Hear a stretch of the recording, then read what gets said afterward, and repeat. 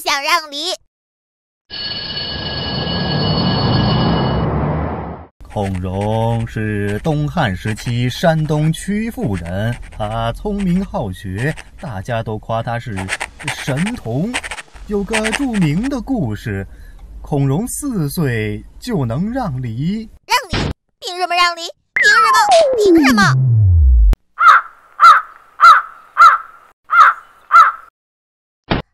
我放学回来了。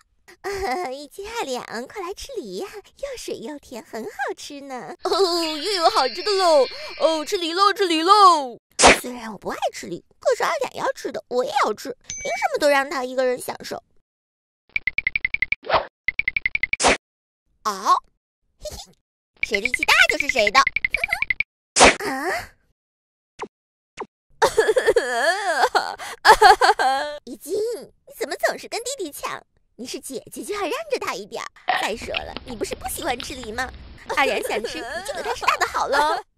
妈妈，在阿良出生之前，有什么好吃的都是我先吃，可现在什么都要让着他，可连我想吃个梨都只能靠抢。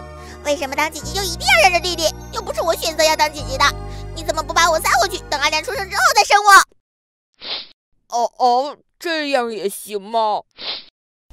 看来。易经如今的心理阴影面积还不小呢。没想到易经这孩子那么敏感，看来我以后真的是要注意些了。可是什么都要挑大小一样的，还真是考验人呢。妈妈，你要加油。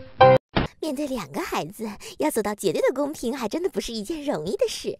不过，多数二胎家庭确实更容易忽略老大的感受。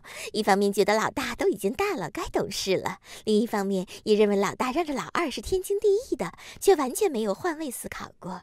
更不用说理解老大所感受的那种被掠夺的感觉了。其实，已经也是一样，虽然是老大，也不过还是个孩子。